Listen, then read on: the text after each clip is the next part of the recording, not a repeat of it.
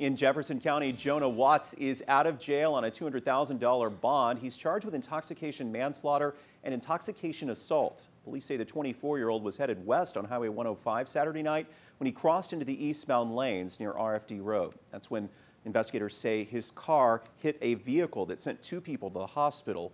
One person later died. Officers arrested Watts at the scene. Once he was medically cleared from the hospital, he was transferred to jail.